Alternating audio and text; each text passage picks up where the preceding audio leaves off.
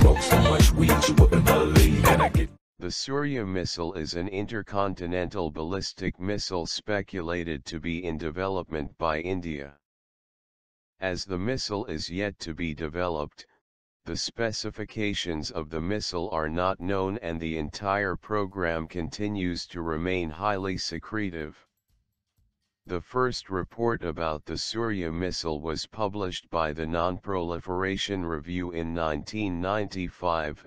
It will be developed by Defense Research and Development Organization OWN, DRDO, the DRDO is believed to have begun the project in 1994. Surya is an intercontinental range, surface-based, solid, and liquid propellant ballistic missile.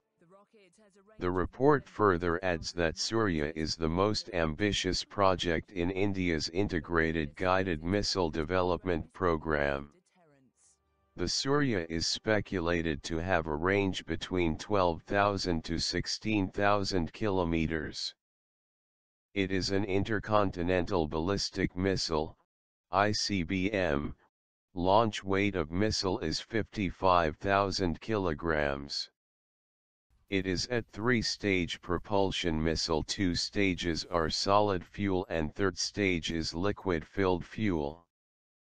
It can carry 3 to 10 warheads weighing from 250 to 750 kilotons each.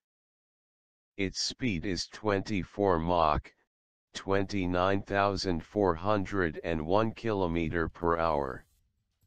Its range and speed is much better than Agni 6. The Surya will be a true ICBM after Agni 6. Agni, V is not a ICBM, it is a medium-range ballistic missile because the range of ICBM should be 8,000 km or more and Surya maximum range is 16,000 km which makes it true ICBM. Surya is not only better in its range but its capability to carry warheads till 10 makes most dangerous ICBM of India not only India but in world only Russia have capability to hit 16,000 kilometers. If everything goes as per schedule and way India wants Surya will be on floor. Surya will make India unbeatable and enemies country will not only stop boasting about their powers but also think hundred times before attacking India. The missile is not known completely hence it is a secret project of India and there's still a confusion about its existence few peoples believes that it is already developed but no one can conform about its existence.